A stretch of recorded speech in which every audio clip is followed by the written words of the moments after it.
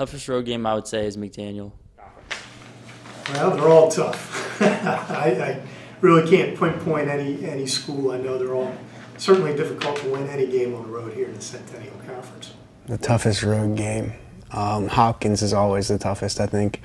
Um, their gym is pretty small and they always have a packed gym, so their fans are getting on you from an hour before the game until the very end. So it's always a tough game. Uh, F&M is always pretty tough too because it's always crowded.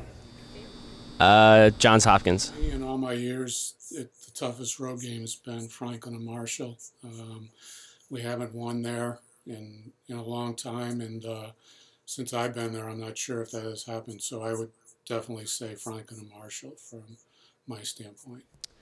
I don't know. Just historically, the, the the road games that I've played, I mean, Dickinson's always tough because you know they have such a large crowd, and you know, like their school loves, especially the the rivalry between us, and um, especially last year we didn't we didn't do so well against uh, Dickinson on the road.